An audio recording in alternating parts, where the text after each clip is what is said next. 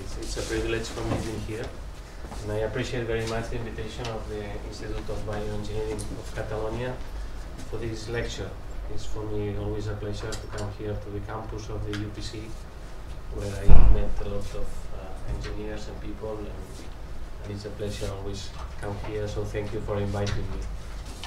Well, it's difficult uh, to talk about uh, your specialty in just one hour. Uh, I'll try to, to show you some of the technologies we use in our practice, uh, daily clinical practice. And this is uh, the outline of my lecture today. First of all, I'd like to, to give some words about our specialty, which is not very well known by, by the general public. Then uh, I will focus my speech in the diagnosis. After that, uh, technology in treatments. And at the end, some words about the future trends and our future needs of technology in our specialty. Well, uh, oral maxillofacial surgery is a topographic specialty, which means that it is defined by the specific anatomical region we deal with the face, the mouth, and the neck. As you can see, here is a very complex anatomical region, and there is a lot of medical specialties involved in treatment in this area. Not only maxillofacial surgeons, but also dentists, also ophthalmologists, otolaryngologists in the posterior aspect of this region, the cervical spine, orthopedic surgeons, also neurosurgeons. Uh, and this means that uh, most of the, the cases we have to, to treat in this area, uh, we need to work in a multidisciplinary fashion. Always uh, collaborate with another specialist when we uh, treat patients from this area. Well, most of you, the first contact with a maxillofacial surgeon would be wisdom tooth. We do a lot of uh, surgeries. And let me introduce a little bit uh, our specialty because we, we do many other things apart from the wisdom uh, tooth extraction. For example, we treat uh, diseases of the orbit. The orbit is the cavity in which the, the eyeball is located. We treat fractures in this area, also different kinds of injuries, and also tumors in cooperation with the ophthalmologists. We also treat um, diseases in the nose and the paranasal s- sinuses together with the otolaryngologists. We treat traumatic injuries, we treat uh, tumors, we treat deformities of this area, and also infections. Of course, we treat many uh, pathologies in mouth and teeth together with the dentist. We do a lot of oral surgery, like wisdom tooth. We also work uh, with dental implants. We do most of the complex surgeries with uh, dental implants. We also treat uh, tumors of the mouth, of the mouth, of the tongue, and of course infections uh, in this area, which uh, can be uh, very uh, serious sometimes. Of course, in now these days is at stake. We treat we treat salivary gland pathology, tumors of the salivary glands. Most of you know that uh, the coach of Barcelona Football Club is affected for tumor of the parotid gland, which is this salivary gland here. We also treat injuries of the facial nerve, which is located inside the parotid gland. We also treat stones in the salivary glands, tumors, of course, and also infections in this area. The neck is a, another important uh, place where we treatments, especially in tumors, but also in congenital malformations and also uh, congenital cysts that we can find in all this complex area, which have the connections between the central nervous system and the rest of the body. So we have a lot of blood vessels here, a lot of nerve connections. We also have uh, the, the, the first part of the digestive tract located in this area. So it is a very complex area, and uh, we, it is necessary to know uh, a very precise uh, uh, anatomy of this area. We also treat the facial skeleton in cases of trauma, fractures of the bones of the face, fractures of the mandible, fractures of the nose, of the zygoma, and also we treat malformations, some uh, cases of uh, uh, devel developmental uh, alterations that need to be corrected surgically. Also tumors, of course, and bone diseases affecting the bones of the facial skeleton.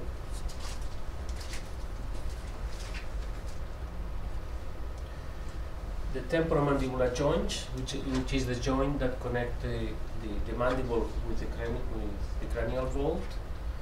We treat uh, traumatic injuries of this uh, joint.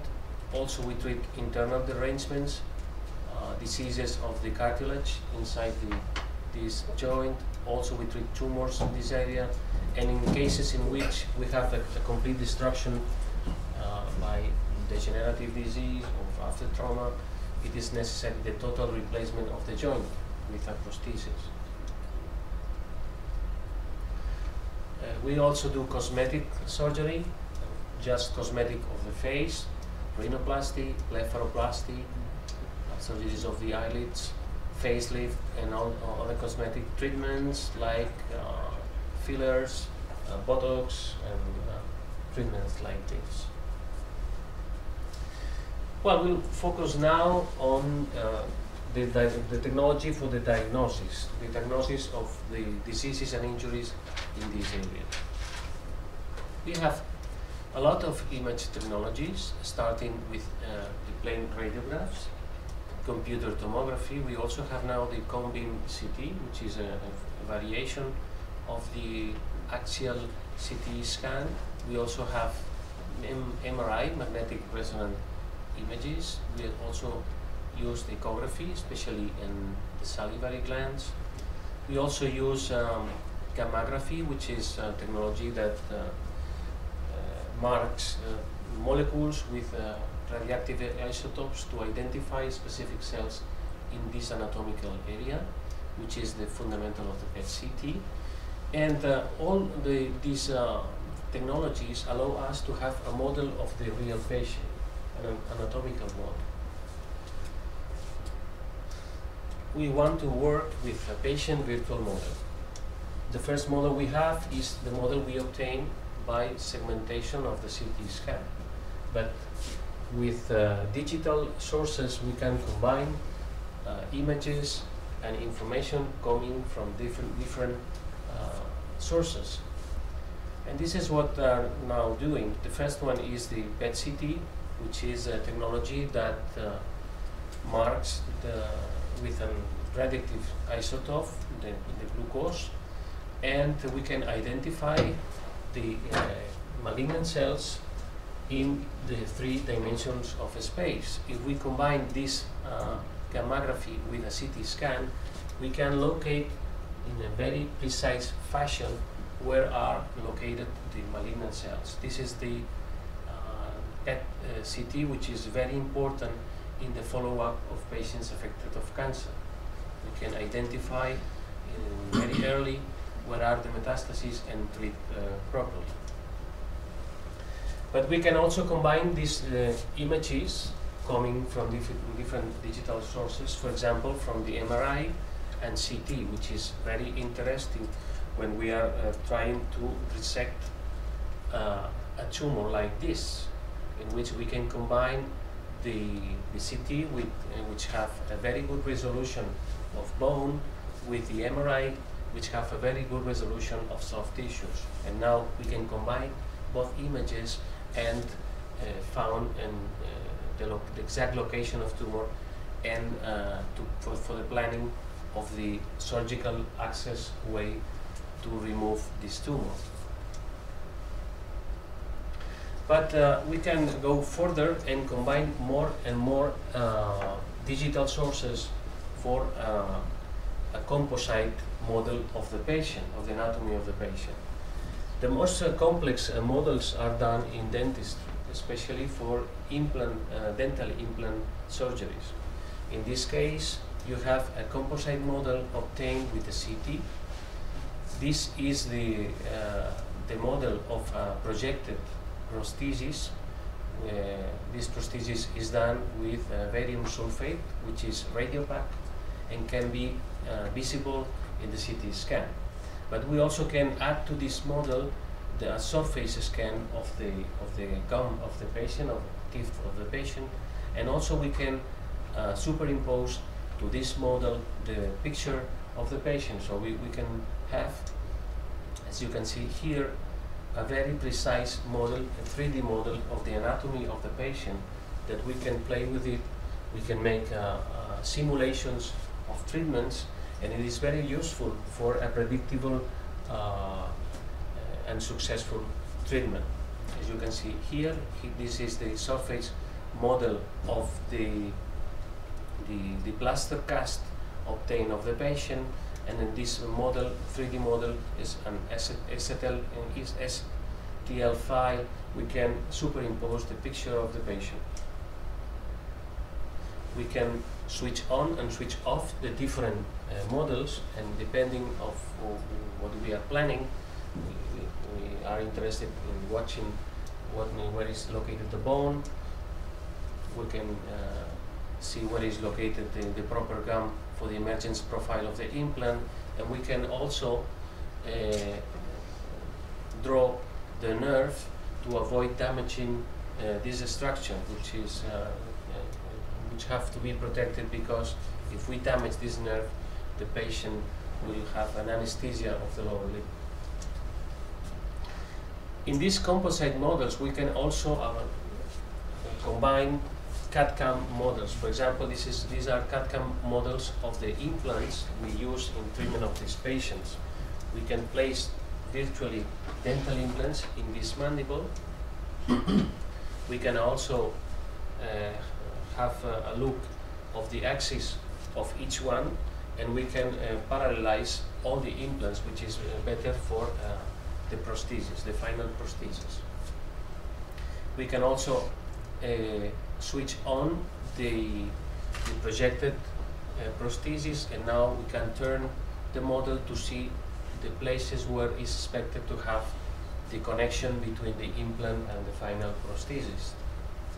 All these technologies make, uh, make uh, these treatments more predictable.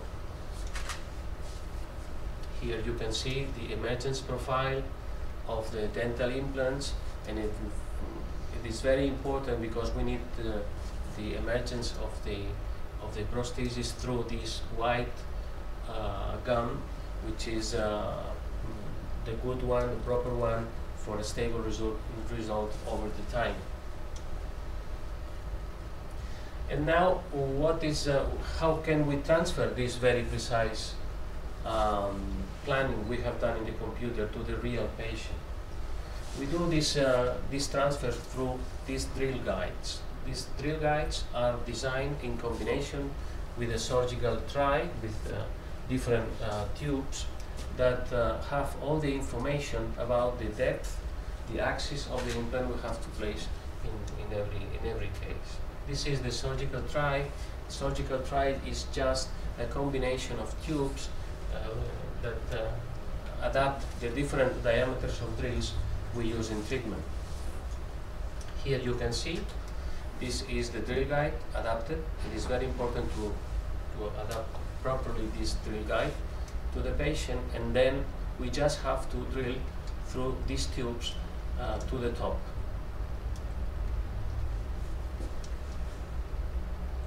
We change these tubes according of the diameter of the drill and finally through the same drill guide, we can put the dental implant. And once we remove the drill guide, the implant is uh, placed exactly where we planned before surgery.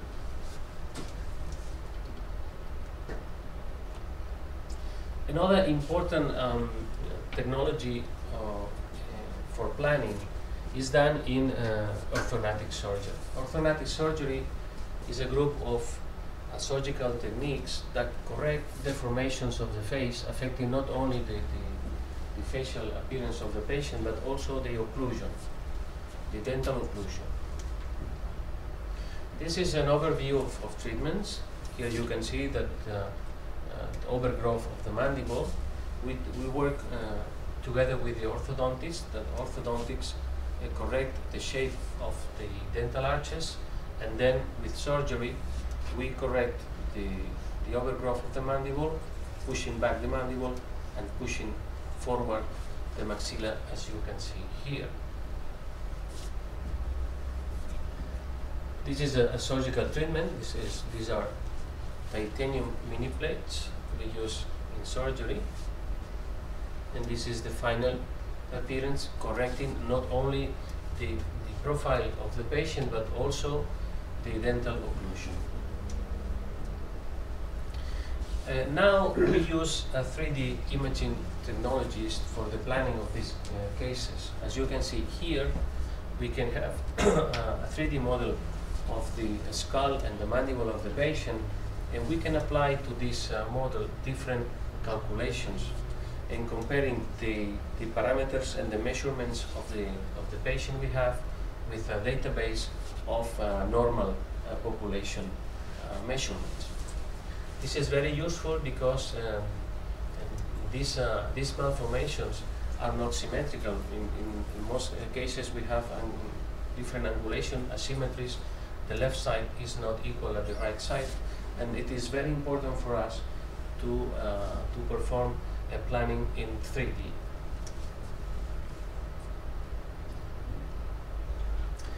For that, we, we apply um, terminology obtained from, from the, uh, the, uh, the astronautic for, for, for say yaw, pitch, and, and roll, and we can move all the bones we want to, to operate in the three dimensions of space. We can correct the yaw, we can correct the pitch, we can correct the, the roll, obtaining uh, a perfect symmetry of the patient in our workstation that can that we can transfer later on to the operating room.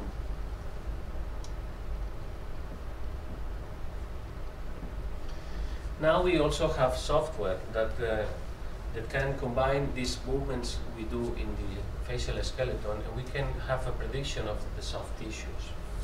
Now this is at stake these days because these uh, predictions are very, very difficult because the response of uh, soft tissues to the movements of the bones are not uh, very well known and this is one of the, the, the things that have to be improved in the future.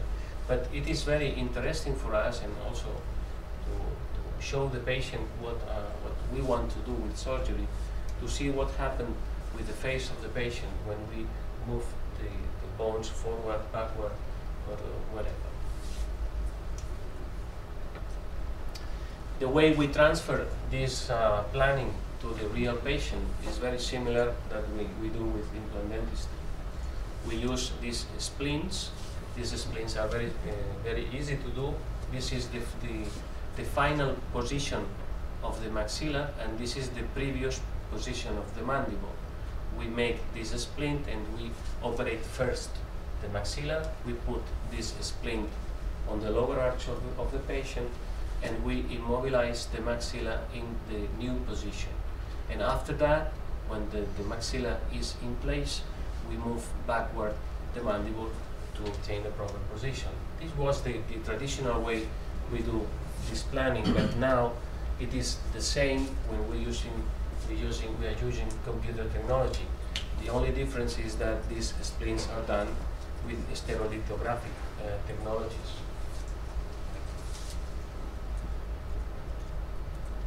This is a real, a real example. There's a, a patient that have, as you can see here, a uh, severe overgrowth of the mandible. And we planned this case in 3D, as you can see on the right, and this is the new position of bones. We made cuts on the maxilla, we make uh, cuts in the mandible. As you can see here, we move the maxilla forward and the mandible backward. This is the final result after surgery, with a perfect symmetry that can be obtained by using these 3D uh, technologies. And this is the occlusion of the patient. This is before surgery, before orthodontics, and this is after surgery and after orthodontics. Well, uh, what about treatment? We have talked uh, a little bit about treatments, but we need technology for many other other things. For mm, for planning of treatments, we can also uh, man, uh, fabricate custom prostheses. We also use navigation. We also use robotic surgery. I'll show you some examples. This is navigation. Navigation is just to uh, have an, an, exact correlation between the, the in real time the CT scan and the patient himself. We need um, uh, we need uh, a device that correlates the position of the head with the CT scan. This is the um, this is the antenna, and this is the receiver. And you have here three axes, and you can see the tip of the tool we are, you are using, where it is located real time in the, in the, in the CT scan.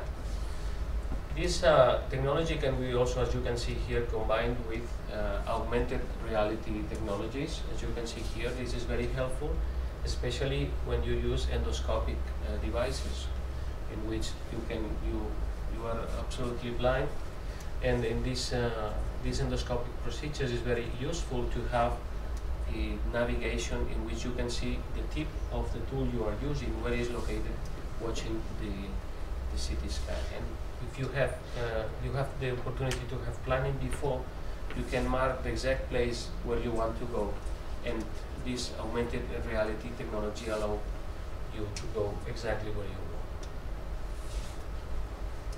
We also uh, work with uh, prosthesis, and, and now it is important to have the possibility to build the, uh, the, the, the, exact prosthesis the patient needs. And for that, the 3D technology is very important. This is a commercial um, a company which is uh, which, fa which uh, fabricate uh, custom-made prosthesis. First of all, this is a, an, a joint that is uh, severe, severely damaged for uh, arthro arthrosis and in red is uh, it's painted the the bone that have to be resected in, in surgery. And this is the digital uh, prosthesis the, the planning of the, the prosthesis that can be fabricated very easily with milling precision milling machines. You can mill for example this part is made in titanium and the upper part is made in uh, an acrylic material. And this is a plain radiograph of the patient after surgery. We do a lot of uh, prostheses like this and work much better than the, the stock prosthesis, especially in this uh, area with, in which we have a lot of variations from individuals. It is difficult to build a prosthesis that works with every, every person. It is much better to have the prosthesis uh, manufactured exactly to the anatomy of the patient. We can also uh, manufacture mm, specific prostheses. These uh, are, for example, for cases after tumor resections, in which in which you have to resect a part of the bone, uh, and now you can uh, manufacture an exact uh, spare part to replace the, the bone you, you have lost with different shapes and exactly adapted to, to the patient. This is another example in which a patient that uh, had a resection of the temporal bone to reconstruct the maxilla and you also can fabricate this prosthesis exactly in shape. You can also use mirroring uh, technology to, to fabricate an exact prosthesis for the patient. In other cases, we need to uh, replace the resected bone not by a prosthesis by, but by a bone of the, of the patient. This is a case in which you can see this uh, alteration of the mandible. This is a tumor, and this patient had to be, uh, this mandible had to be resected from here to here. And in this case, we use bone transfer. We take bone from the left. This is the fibula, this is the tibia, and this is the fibula the fibula, you can take the fibula out and uh, and uh, remodel the fibula to, to give the fibula the shape of, of a mandible and connect the vessels that uh, of this bone to the to the vessels in the area. So it is a live bone. This is very difficult because the, the, the, the fibula is a straight bone and the mandible is a, is a very uh, have a very uh, complex shape. And here you can see the fibula in place. This is a, a, a live bone, and in this bone we put dental implants and uh, uh, dental prostheses, so we can uh, recover the facial appearance and the function of this patient have had a very serious treatment because of, of malignant tumor.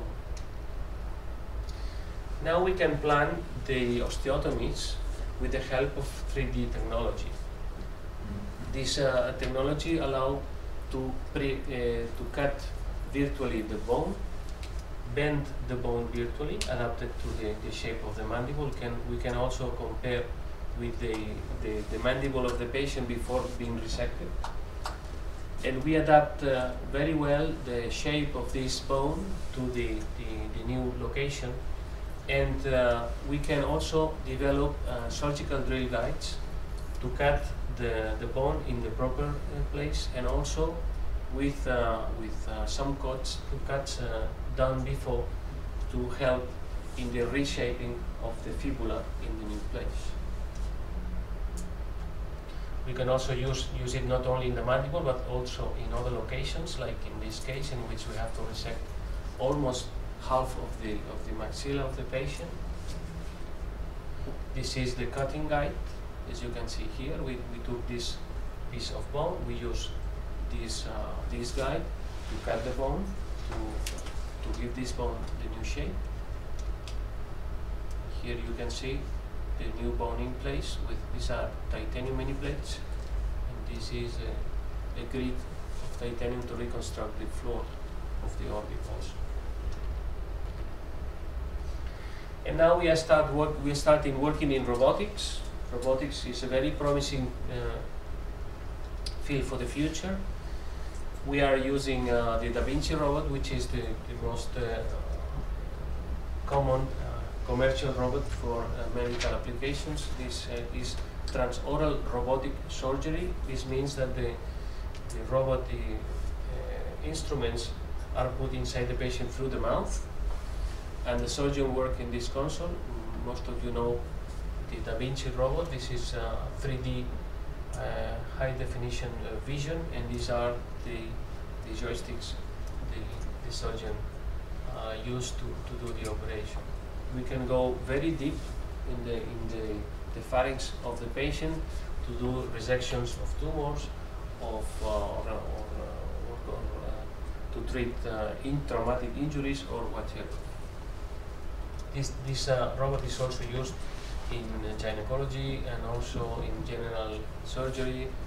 we are also in our hospital doing surgeries in, in fetus before birth using these, these technologies also. It's a very flexible robot. It is not an autonomous robot, it's a, it's a teleoperated robot. And what would be the, the future needs and what are the trends for the future that uh, fields that, uh, in my opinion, have interest to be developed in the future? The first one is soft tissue simulation. We have a lot of troubles, especially you have seen uh, simulations of patients uh, in surgeries of the face, it is very simple to simulate the, the, new position of bones, but it's very difficult to simulate what happened with the face after these bone movements. We need new algorithms and we need uh, better uh, software strategies for, uh, for have more predictable treatments to show the patient what happened with his face after surgery. So it is a lot of work to do in the changes in the prediction of the soft tissue changes. Uh, there is a lot of future also in uh, implantable devices. The first implantable device was the, the pacemaker, the HEP but now there are a lot of new uh, implantable devices like uh, neurostimulators, gastric stimulators, food drug implants, insulin pumps, etc. And uh, in uh, our field especially, we need uh, implantable devices to stimulate uh, the muscles of patients affected of mm, facial palsy. And it's important for us to have new implantable devices and to develop the connection between the neurons and the electronic devices. Many groups are working on it, especially in the field of ophthalmology to develop artificial retina. It is very important, but also would have a lot of applications out of the ophthalmology and especially in our field in, in patients affected of this uh, disease of facial palsy. And uh, there is a lot of interest also in biofabrication. Biofabrication is the combination of tissue engineering and 3D printing. So the goal is to print live tissues. And there are some experience, experiences. This is experience of Drexel University. This is a grid of live cells. But it is also possible to print uh, blood vessels it is also possible to print uh, cartilage. It's also uh, possible to print bones, etc. And, for us, would be very interesting, especially for those patients in which we have to reconstruct a whole mandible, or to reconstruct an, an ear, or to reconstruct the nose. It would be possible to print a new nose, to print a new ear, and implant these new uh, tissues in the patient. And also, micro robotics is very interesting, especially uh, there are a lot of experiences, especially in hair treatments in children. But in our specific field would be very interesting in the development of intelligent distraction devices. One of our fellows in our hospital did uh, a research project by using um, memory uh, methods in development of inserted uh, distractors. But I think in the future, because of the miniaturization and micro robotics, we would uh, have uh, intelligent micro distractors that would have the same effect without the problems of the distractors we have now. We need uh, these uh, pieces out of the skin. We have a lot of, uh, of problems with the scars in, in these patients and also are very bulky. So I think with the miniaturization and the development of micro-robotics would be very interesting in develop uh, devices like this. And also it is very important in, in times of crisis like, like the times we are living now, the, the cost of technologies. It is very important to develop the cost-effective technologies and affordable technologies because sometimes these technologies are uh, too expensive. And uh, all this uh, money we spend in technologies are, are very important. So it is important not only to develop, develop um, technology, but also to consider the fact of the cost effectiveness and, and make this technology affordable not only for rich people but uh, for the whole population let me finish my presentation with these words of, uh, of Albert Einstein. Imagination is more important than knowledge, and in my opinion, and imagination and curiosity are the, the, the is the power of development of science. So thank you very much for inviting me, and thank you for your kind attention.